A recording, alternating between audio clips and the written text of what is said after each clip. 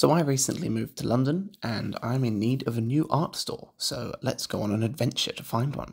I've moved into Camberwell in London and somebody told me about this little art store called Cowling and Wilcox. You go in and there's some amazing art books, they've got some amazingly high quality art materials in there as well. I was absolutely blown away by the size of this place. You can walk around everywhere in here and just discover something new. They have Winsor and Newton products as well, as well as Moleskine sketchbooks, all for quite a really low price. There was a lot of things 25% off. It's an amazing store. They got some brilliant canvases. I'd definitely recommend checking it out if you're around in the area because they're much cheaper than Jackson's and Cass Art.